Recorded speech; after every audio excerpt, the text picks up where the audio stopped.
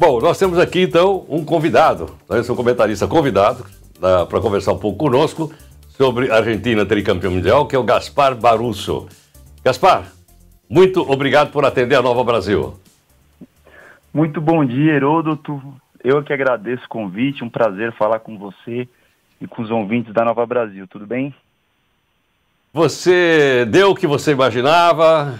A Argentina era a favorita? Qual é a sua opinião? É, foi teste para cardíaco, né, Heródoto? Não podemos dizer que era favorito, porque tinham muitos favoritos, inclusive o Brasil. Mas eu acho que a Argentina soube crescer na competição, Heródoto. E jogar com o coração na ponta da chuteira.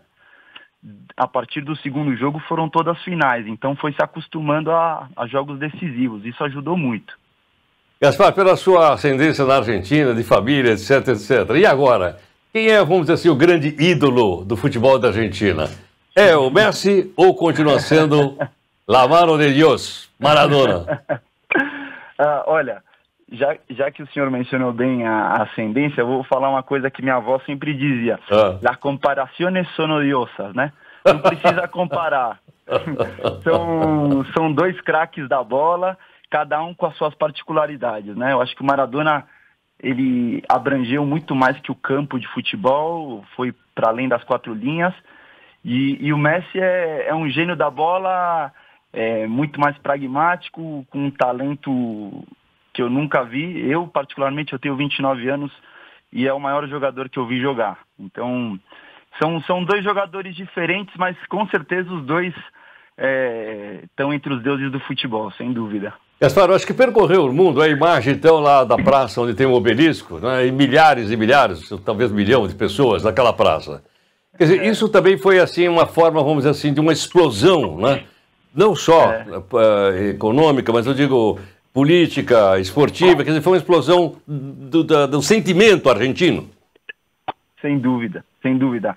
Bom, o, o torcedor argentino ele, ele é muito passional, né? Ele, ele tá na buenas e nas malas, não? Ele, ele tá em todas. Então, eu, eu acho que o obelisco estaria igual mesmo que, que tivesse sido eliminado. Né? e porque é, a hinchada argentina, ela, ela é muito pulsante, ela realmente é, ela é muito presente. E, e eles precisavam desse título. A Argentina precisava desse título. Agora, Gaspar, quando você falou que os argentinos são muito passionais para torcer, eu acho que só tem um que, que, que, equivale a isso.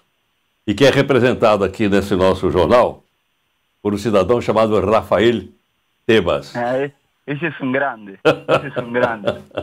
Esse é um, um amigo da vida. Um amigo da vida. Ô, Rafa, e aí? Olha só, em dois hermanos ao mesmo tempo aqui, Heródoto e Gaspar. Vou perguntar para o Gaspar então, né? Como é que foi ver o jogo, assistir a partida? Você que é o único brasileiro, né, Gaspar? Seus pais são argentinos, seu irmão também. Como é que foi acompanhar o jogo naquele momento dos pênaltis ontem? Carlitos, é, coração na boca. coração na boca. E aí, e aí veio o, o lado argentino que é melancólico e, e, tango, né? Tinha que ser assim, Carlitos. Não quedava outra. Tinha Olha. que ser assim, foi, abracei meu irmão. Uhum. Me emocionei. Claro, sem dúvida.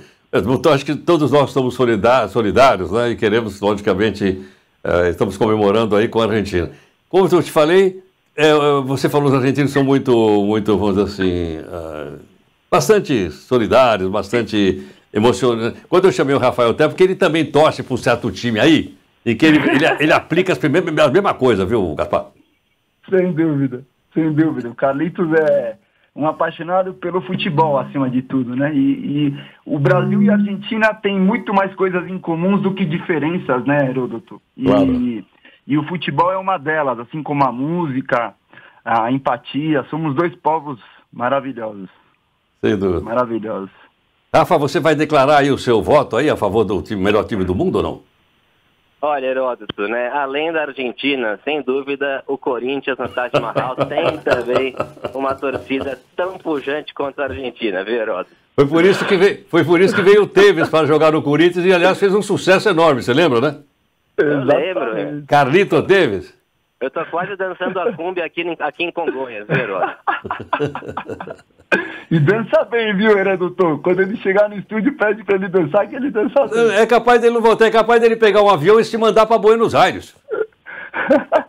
Aí você não acha mais. Gaspar, muito obrigado aqui pela sua participação conosco. Um abraço em toda a sua família aí de argentinos. Obrigado, eu que agradeço a gentileza. Um abraço para todos da Nova Brasil e um bom final de ano para nós. Igualmente.